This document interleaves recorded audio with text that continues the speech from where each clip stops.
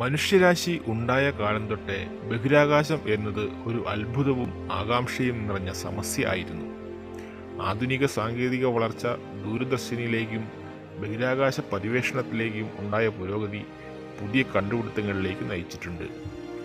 നിരവധി എക്സോ പ്ലാനറ്റുകൾ അവയിൽ തന്നെ ഭൗമസമാനമായ ഗ്രഹങ്ങൾ ചിഹ്നഗ്രഹങ്ങൾ വാൽ നക്ഷത്രങ്ങൾ പുതിയ നക്ഷത്ര സമൂഹങ്ങൾ എന്നിങ്ങനെ കണ്ടുപിടുത്തങ്ങളുടെ പട്ടിക നീളുകയാണ്.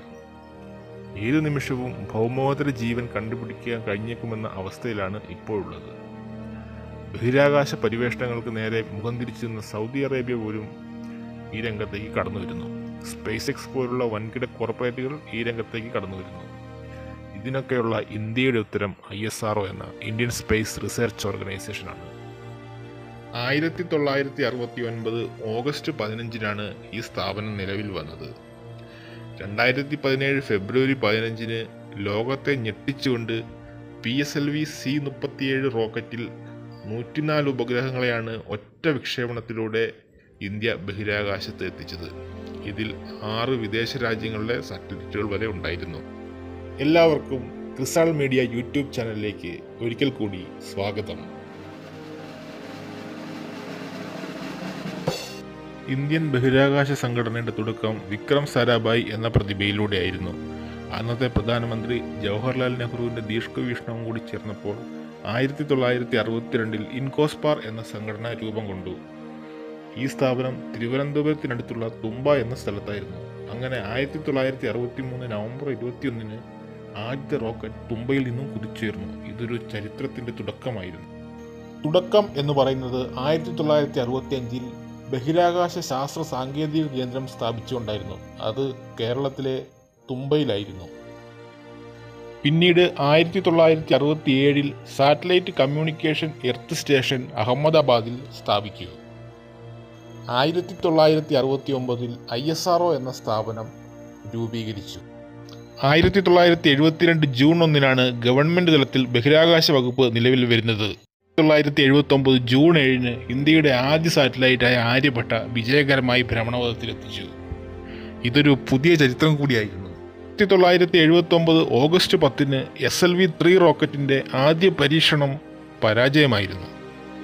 ആയിരത്തി തൊള്ളായിരത്തി എൺപത് ജൂലൈ പതിനെട്ടിന് അതേ എസ് എൽ വി മൂന്ന് റോക്കറ്റ് ഉപയോഗിച്ച് രോഹിണി ഉപഗ്രഹത്തെ വിജയകരമായി ഭ്രമണപഥത്തിലെത്തിക്കാൻ ഐ എസ് ആർ കഴിഞ്ഞു.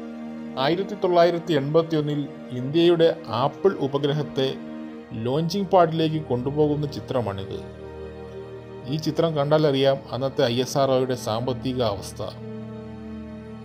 ആയിരത്തി തൊള്ളായിരത്തി എൺപത്തൊന്ന് ജൂൺ പത്തൊമ്പതിന് വാർത്താവിനിമയ ഉപഗ്രഹമായ ആപ്പിളിനെ ഇന്ത്യ വിജയകരമായി ഭ്രമണപഥത്തിലെത്തിച്ചു. ഇതേ വർഷം തന്നെ ഭാസ്കര രണ്ടിനെയും ഇൻസാറ്റ് ഒന്ന് എയെയും വിജയകരമായി ഭ്രമണപഥത്തിൽ എത്തിക്കാൻ കഴിഞ്ഞു.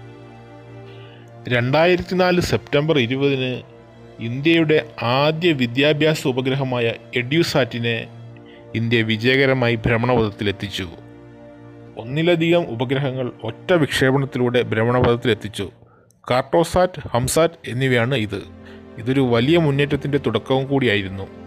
രണ്ടായിരത്തി എട്ട് ഒക്ടോബർ ഇരുപത്തിരണ്ടിന് ഇന്ത്യയുടെ ആദ്യ ചാന്ദ്രദൗത്യമായ ചന്ദ്രയാൻ വണ്ണിനെ വിജയകരമായി വിക്ഷേപിച്ചത്. ഈ ദൗത്യത്തിലൂടെയാണ് ചന്ദ്രനിലെ ജലസാന്നിധ്യം സ്ഥിരീകരിക്കപ്പെട്ടത്. രണ്ടായിരത്തി പതിമൂന്ന് നവംബർ അഞ്ചിനാണ് ഇന്ത്യയുടെ ആദ്യ ചൊവ്വ ദൗത്യമായ മംഗൾയാൻ വിക്ഷേപിച്ചത്. പതിനൊന്ന് മാസത്തിന് ശേഷം രണ്ടായിരത്തി നാല് ഒക്ടോബർ ഇരുപത്തിനാലിന് ചൊവ്വയുടെ ഭ്രമണപഥത്തിലെത്തി. ആറു മാസത്തേക്കായിരുന്നു പരീക്ഷണമെങ്കിലും ഇന്ധനം മിച്ചമുള്ളതിനാൽ ആറു മാസത്തേക്ക് കൂടി നീട്ടുകയായിരുന്നു. ഇപ്പോൾ പല ബഹിരാകാശ പ്രവർത്തനങ്ങളിലും അമേരിക്കയോടും റഷ്യയോടും ചൈനയോടും ഒക്കെ മത്സരിക്കുവാനുള്ള ശേഷി ഐ എസ് ആർഒയ്ക്കുണ്ട് ഇപ്പോൾ റഷ്യയുമായി സഹകരിച്ച് ഇന്ത്യക്കാരെ ബഹിരാകാശത്ത് അയക്കുന്ന ഗഗൻയാൻ പദ്ധതി വരെ പ്രഖ്യാപിച്ചിരിക്കുന്നു. വളരെ കുറച്ചു കാലം കൊണ്ടാണ് അഭിമാനാർഹമായ ഈ നേട്ടങ്ങൾ നമ്മുടെ ഐ എസ് ആർഒ കൈവരിച്ചിരിക്കുന്നത്. ഇന്ത്യ ലോകത്തെ ഏറ്റവും വലിയ ബഹിരാകാശ ശക്തിയായി മാറട്ടെ എന്ന് നമുക്ക് ആശംസിക്കാം. ഈ വീഡിയോ നിങ്ങൾക്ക് ഇഷ്ടപ്പെട്ടെങ്കിൽ വീഡിയോ ലൈക്ക് ചെയ്യുക ചാനൽ സബ്സ്ക്രൈബ് ചെയ്യുക ഞങ്ങളെ സപ്പോർട്ട് ചെയ്യുക. താങ്ക്